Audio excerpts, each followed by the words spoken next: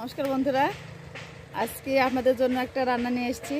আজকে খাসি মাংস রান্না করব আর সেটা আপনাদের সঙ্গে শেয়ার করব। দেখতে থাকুন। প্রথমে খাসির মাংসগুলো থেকে লোম বেছে নিয়ে মাংসগুলো ধুয়ে নিচ্ছি।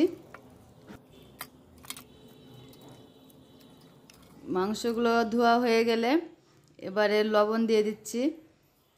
লবণ, হলুদ আর সব বাটা মশলাগুলো আদা বাটা জিরা বাটা শুকনো মরিচ বেটে নিয়েছি ওগুলো সব দিয়ে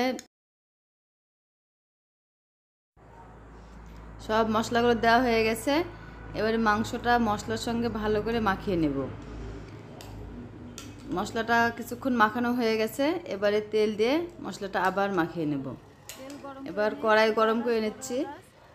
আর এতে গোটা মশলা দিয়ে দিচ্ছি তেজপাতা, ছোটো এলাচ, বড় এলাচ, দারুচিনি। দিয়ে এবার পেঁয়াজ কুচি আর রসুন কুচিগুলো দিয়ে কষিয়ে নিচ্ছি ভালো করে। তো মশলাটা লাল করে ভেজে নিব। ভালো করে লাল করে ভেজে নিয়ে এবারে মাংসটা দিয়ে দেব। আজকে অনেক সকাল সকাল উঠেছি। আজকে গেস্ট আসবে আমাদের বাড়িতে। সেজন্য অনেক রান্না আছে। আর দেখছেন আজকে বড় করে রান্না করছি অনেকগুলো গেস্ট আসবে। তো মাংসগুলো দিয়ে দিলাম। মাংসটা একটু ভালো করে কষিয়ে নেব। আর পেঁয়াজ রসুনগুলো ভালো করে যাতে মিশে যায় মাংসের সঙ্গে। একটু কিছুক্ষণ কষানোর পরে এটা সেদ্ধ করার জন্য জল দেব। মাংসটা দেখেন অনেকটা কষানো হয়ে গেছে। কিছুক্ষণ ধরে কষালাম আর জলটা গরম করে নিয়েছিলাম। মাংসে গরম জল দিলে মাংসটা সেদ্ধ হতে কম সময় লাগে আর ঠান্ডা জল দিলে মাংসটা একটু শক্ত হয়ে যায়। তো জলটা শুকিয়ে গেছে, অনেকটা কমে গেছে, এবার কষাতে থাকব। আর এটা নাড়তে থাকব অনবরত আর জালটা দিয়েছি প্রচুর যাতে করে তাড়াতাড়ি মাংসটা সেদ্ধ হয়ে যায়। কয়েকটা কাঁচামরিচ দিলাম। আর কাঁচামরিচ মাংস দিলে মাংসটা একটু টেস্টি হয় আর দেখতেও সুন্দর লাগে। তো এই মাংসটা ভালো করে কষিয়ে নিচ্ছি। দেখেন মাংসটা একটা লাল ভাব চলে এসছে, মাংসটা প্রায় কষানো হয়ে গেছে।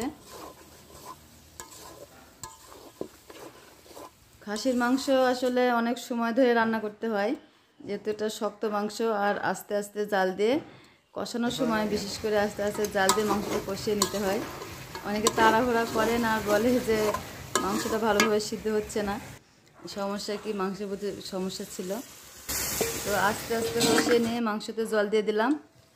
এবারে ফুটতে দিব কিছুক্ষণ ধরে।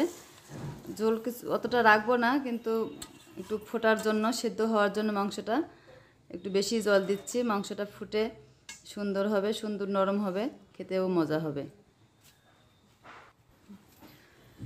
মাংসটা ফুটতে দিয়েছি। মাংসটা ফুটছে। আর বন্ধুরা, আপনারা যারা আমার চ্যানেলে নতুন, তারা প্লিজ চ্যানেলটা সাবস্ক্রাইব করবেন।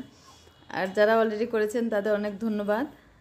আর যদি ভিডিওটা ভালো লাগে, অবশ্যই লাইক কমেন্ট শেয়ার করতে ভুলবেন না। তো দেখেন, হয়ে গেছে আমার খাসির মাংস রান্না। আর অনেক সুন্দর সুসিদ্ধ হয়েছে। আমার রান্না হয়ে গেছে। আর গেস্টরাও চলে এসছেন। আমি এবার পরিবেশনের জন্য সব তুলেছি। খাসির মাংসের সঙ্গে হাঁসের মাংস ছিল। হাঁসের মাংস আমাদের পরিবারের ঐতিহ্য বলতে পারেন। আমাদের বাড়িতে গেস্ট আসলে হাঁসের মাংস থাকেই।